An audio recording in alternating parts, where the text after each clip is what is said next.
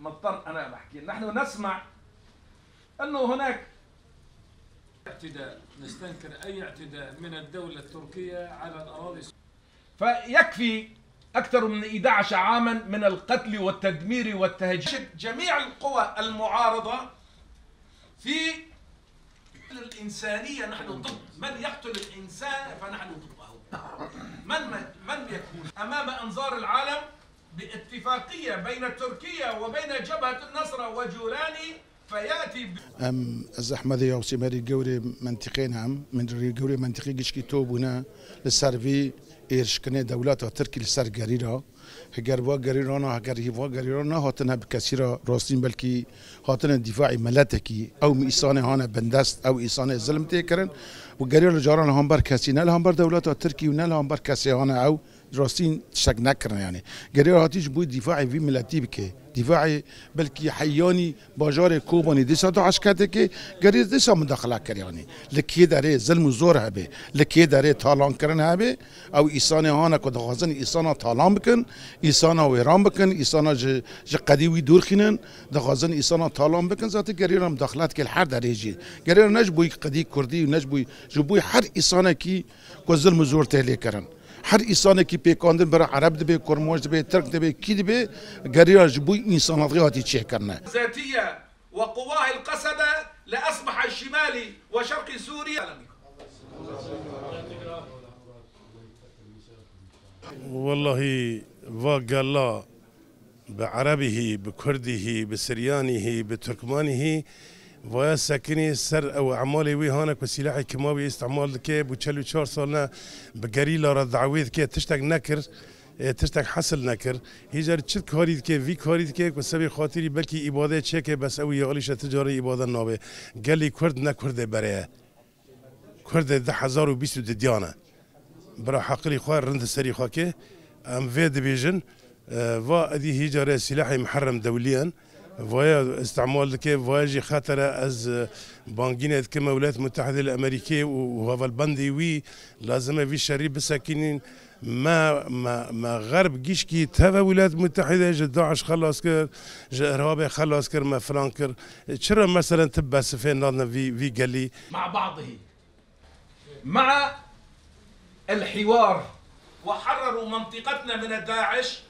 فاليوم نحن وجهاء المنطقة. وعشائر المنطقة أن بصوت واحد ندين هذه الأعمال ونطالب المجتمع الدولي الضغط على تركيا لوقف هجماتها البربرية واستخدامها لأسلحة الكيماوية.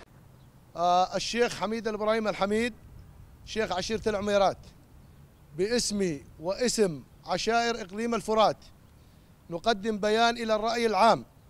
منذ قرون تمارس الدولة التركية سياسة الإبادة والمجازر بحق الشعوب من قتل وتهجير والتغيير الديمغرافي ضد الأرمن والسريان والكرد والعرب لتثبت وجودها على أساس تدمير المجتمعات حيث لا زالت تركيا تسعى جاهدة من أجل القضاء على الشعب الكردي وشعوب المنطقة.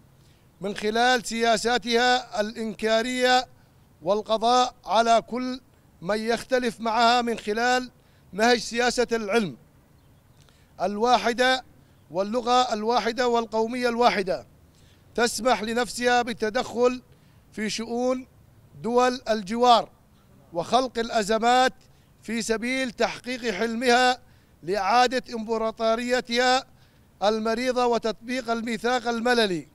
على حساب شعوب المنطقة. لكن ترى العقبة الأساسية في تحقيق طموحاتها التوسيعية قوات الكاريلا ومشروع الأمة الديمقراطية.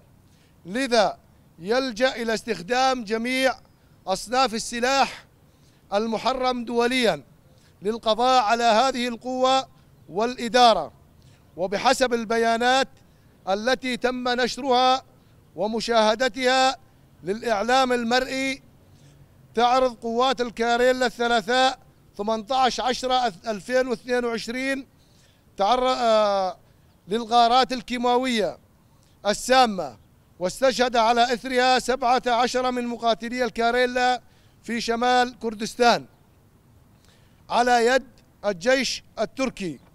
هذه ليست المرة الأولى التي تستخدم فيها الجيش التركي الفاشي الأسلحة المحرمة. فقد استخدمت تلك الأسلحة مرات عديدة وفي أماكن عديدة أمام أنظار المجتمع الدولي وصمت المنظمات الإنسانية المعنية. فنحن وجهاء وشيوخ العشائر في إقليم الفرات وبكل مكوناتها ندين هذا العمل الإجرامي. ونحن نحمل الموقع على اتفاقية لاهاي ومنظمة حظر الأسلحة الكيماوية في الحروب في الحروب المسؤولية تجاه تركيا. ونطالب المجتمع الدولي بإجراء تحقيق شفاف ومحايد في المناطق التي تستخدم فيها هذه الأسلحة المحظورة. ونطالب أيضا المجتمع الدولي اتخاذ إجراءات فورية ضد الدولة التركية لمنعها من ارتكاب المزيد من جرائم الحرب والجرائم ضد الإنسانية.